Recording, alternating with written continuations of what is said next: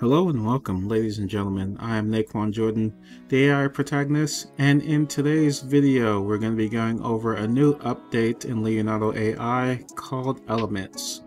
Elements is a new feature that allows you to change the style of a particular image. You can mix and match the different styles in order to actually create your own styles. So I am working on some Japanese art right now. Uh, this is the prompt that I'm using. I can actually put this prompt in the description so you guys can use it yourself and play around with it. But if you use this prompt and you use the photoreal and the raw mode on, these are the type of images that you'll get with it. And what I want to do is I want to use elements to change the style of these uh, these images. And so if I click on elements, we can see I have show compatible on. So this is only the elements that are compatible with the current model that I'm using. If I unclick that box, then it will show all the elements. And as you can see, these are just basically different styles that you can apply to uh, pretty much any generation that you're doing. I'm going to go ahead and click on the show compatible again. And the style that I want to try out, we'll start with this crystalline. So you can actually mix and match these. You can pick up to four of them.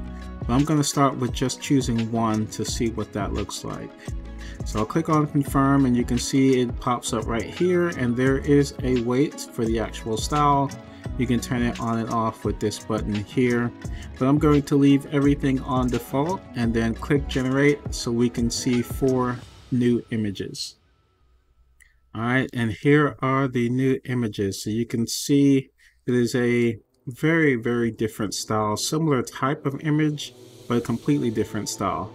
You can actually see in some of them, like this actually has the crystalline look on the clothing of the character what you're going to see with these is that it will change aspects of the clothing, change aspects of the background, but because of this model, the actual character itself will not change.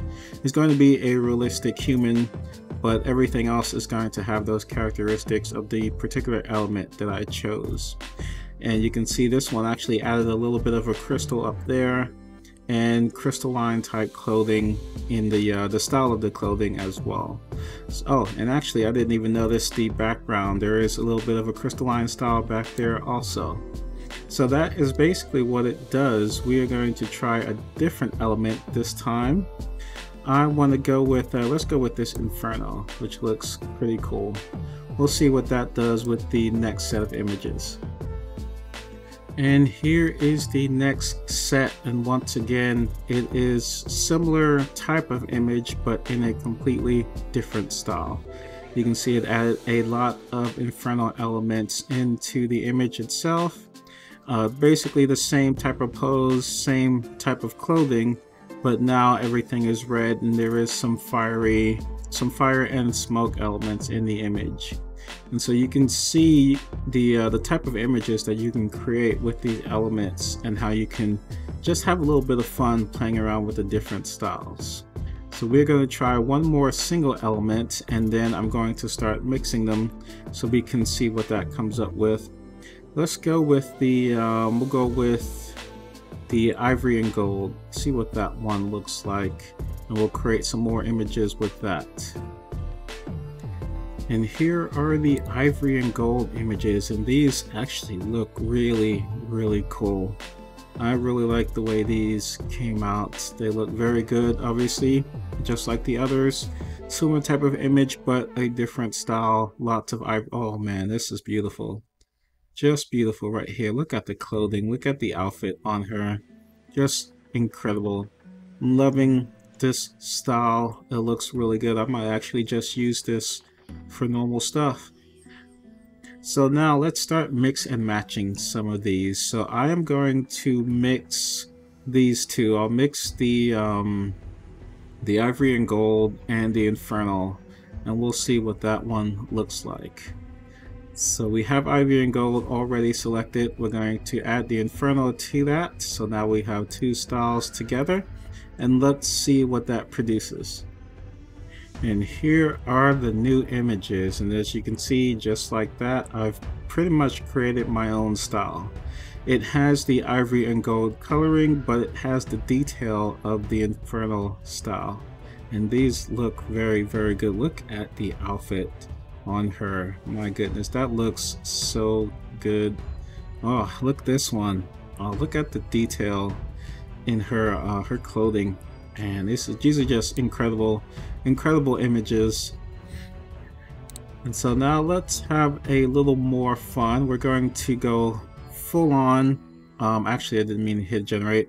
We're going to go full on and add four different styles. So we're going to add the ivory and gold, inferno, we'll go with glass, steel, and crystalline. So we got four different styles and we're going to see um, what exactly that creates.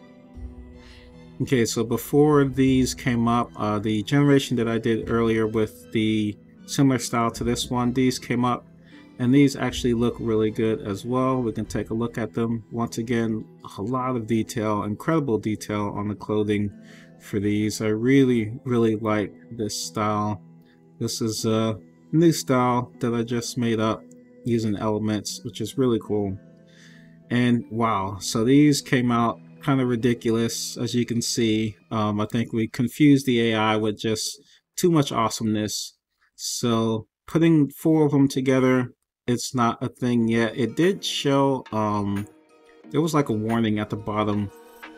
Selecting more than two elements may have unexpected outcomes. Okay, we recommend only using low weight settings to improve the output. Alright, so doing all four is not what we want to do. Maybe we can play with these weights a little bit. So let's move some of them down and see what happens when we play a little bit. Let's move the, uh, we'll move the ivory and gold up. Move the infernal down, but not as much as the others. And let's see what that does. Alright, so these actually created some coherent images.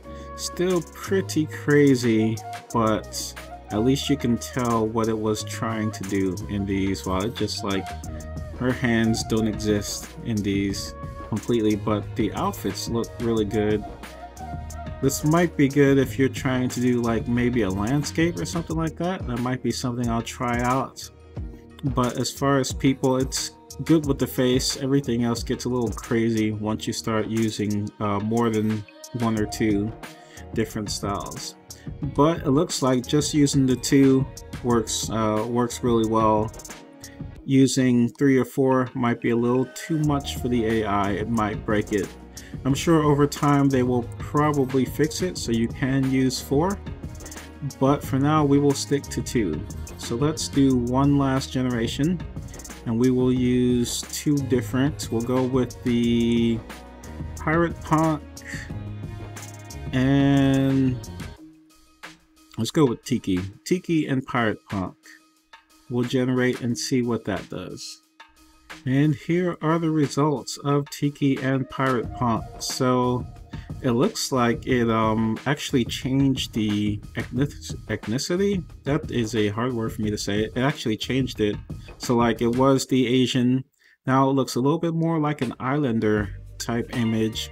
You can definitely see the, the Tiki styles, the actual wood carving type images. Um, I love what it did with the clothing. Completely changed the clothing, changed the style of the image, created a completely different image. So good. This is a lot of fun to play around with. So, and once again, it's a great way just to create your own unique style, your own unique type of image, something that you won't see all over the internet. So that is uh, pretty much it for this video. I just wanted to show this off just to show you guys um, this new feature and show you how much fun it is. So if you guys have any questions or anything you want me to try out, go ahead and leave them in the comments below. Once again, thank you so much for watching and I will catch you guys in the next video.